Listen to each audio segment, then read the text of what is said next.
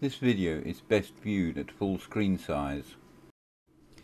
This schematic shows the stages through which grain passes as it is milled into flour or animal feed. Only relevant parts of the mill have been shown, with many faces made transparent to allow the action to be seen.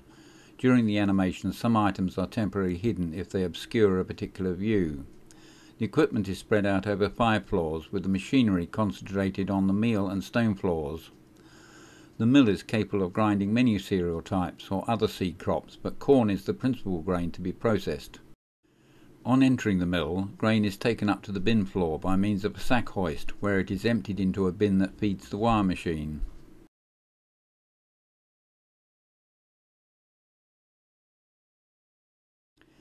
The wire machine cleans the grain in preparation for grinding. It consists of a wire mesh drum, inside which are rotating brushes and beater bars that churn the grain to remove debris and any remaining chaff or husk. Debris and small fragments of husk pass through the wire mesh, then fall down a spout to a waiting sack.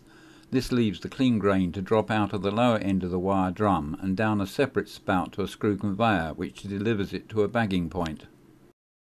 Chaff and light particles of husk become airborne in the drum, so are removed by an air blower. The blower is only temporarily shown in this schematic. Sacks of clean grain are hoisted up to the dust floor and emptied into a large bin ready for grinding into flour. The mill has four pairs of stones, of which stones 1 and 4 are made from French burr, which is preferred for producing flour. The spout from the grain bin can be swung to the hoppers of either of these two pairs of stones. Grain in the hopper drops onto a shoe that feeds it to the eye of the stone. When ground, the resulting meal emerges from between the stones and collects in the tun, the octagonal enclosure, where it is swirled around by the spinning action of the runner stone until it drops down a spout to the meal floor and onto a conveyor belt.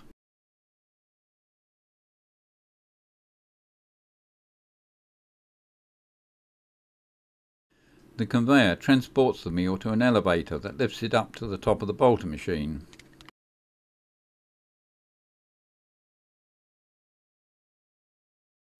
The bolter has a rotating cloth-covered drum that sieves the meal, separating the flour from the bran. Fine flour falls through onto a screw conveyor that takes it to a spout for sack filling, the sacks then being weighed as the finished product. Bran and unground particles of grain and any remaining flour tumble out of the end of the bolter drum and onto a jog scry, a rocking sieve in the form of an inclined tray.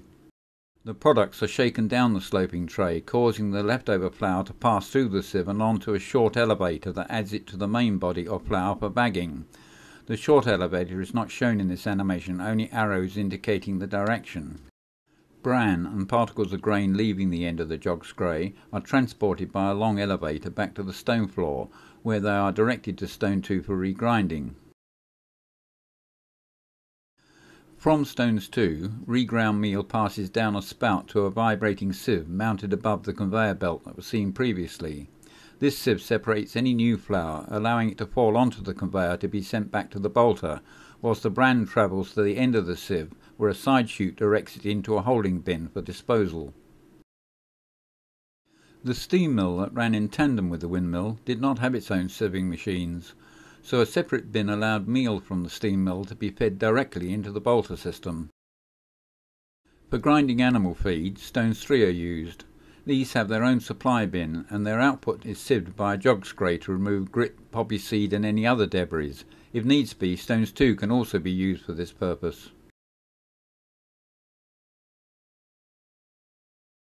Returning to a general view and switching on all flow arrows, we can now see the entire complexity of the milling process. As we swing around the mill, you may like to use your pause control so you can study the detail.